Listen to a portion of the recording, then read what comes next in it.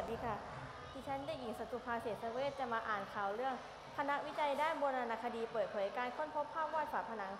ถ้ำบอกเล่าเรื่องราวที่เก่าแก่ที่สุดอายุประมาณ 40,000 ปี คณะวิจัยชาวอินโดนีเซีย และออสเตรเลียเปิดเผยว่าภาพวาดบนภาพวาดบนผนังถ้ำที่แสดงเรื่องราวของสิ่งมีชีวิตคล้ายมนุษย์กำลังล่าสัตว์ 6 ตัว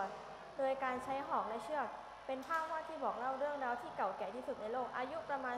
44,000 ปี ดังกล่าวถูกค้นพบเมื่อปี